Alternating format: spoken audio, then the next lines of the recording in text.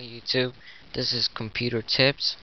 Uh, today I'm going to show you how to get rid of um, keyloggers and any other harmful stuff like spyware. Alright, so first go to google.com and then type in spy bot. Search and destroy. Once you do that, you're going to click on the first um result right up here on the top. Or if you don't want to go to the actual website I recommend any besides the, the actual website to use download.cnet.com because they check their programs and make sure they don't have viruses in it. Alright so I'm going for this tutorial I'm going to be using the the site the real site but if you just type in spybot like I'm gonna do now it's gonna take you right here and you want to click this.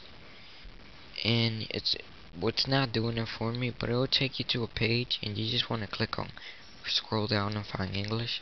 Once you do that it will bring you to this page. Then I'm gonna you're gonna click spybot um whoops.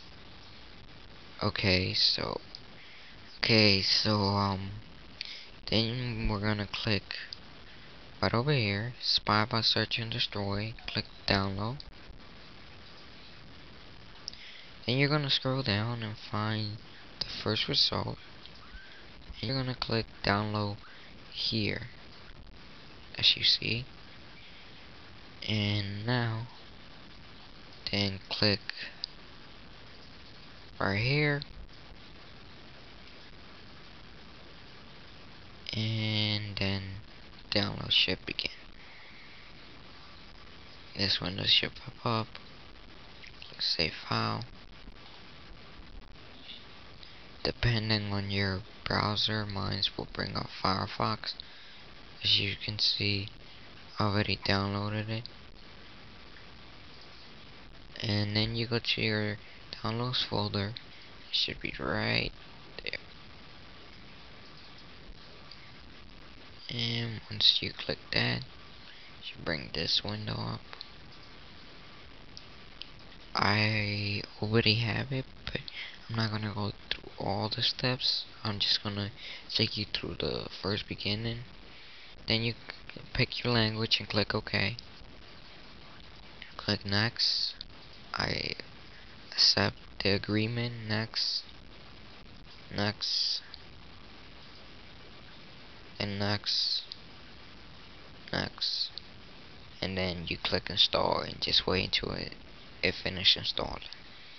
Once it's done um, it should start up right away. I'm gonna quit it because I already have it running on my computer. I'm gonna bring it up. See as you can see I just finished doing a scan and it's just finishing up. I'm gonna wait. I'm gonna pause this video and wait until it finished fixing my problems. As you see now it says it's fixed all my spywares so I'm gonna click OK. Anyway once you have a window should have come up saying back up your registry you're gonna click yes. And then once you do that the window's probably gonna stay the same. Then on the bottom corner there's gonna be one, a button that says next. You're gonna keep, keep clicking next till it says start using the program. Once you click that you want to go to search for updates Alright, once you search for the updates, you're to scroll down, find securitywonks.net. As you see here, it doesn't matter, but if you want to pick the one I picked, I use the second one. And then you just click and then continue and then just click download see it won't look the same because I already have downloaded the file but I'm gonna click exit. Then once you're done that, you want to go to mode and you want to go to advanced mode. Then click yes. And then you're to go down to settings, file, files, and you want to scroll all the way down and click usage tracking and track.ut. And then click that. And then you just exit out of this and go back here. And then you can go ahead and ch check check for problems. Then click hi now. And then it should start checking. And in a few minutes as you see right over here down here it says running bot check 160 that's all the files that's being checked right now. As you see all this. And when this bar gets filled up that means the check is over. But I'm gonna click stop check because I already completed my checks. As you saw when I first brought up the program I was already done. So I'm just gonna click stop check and you see now it says user abort scan was not complete successfully. Well, on this window right here, it will be all the problems, all the stuff that I found as you saw in the beginning. And then you click over here. Right here, this area.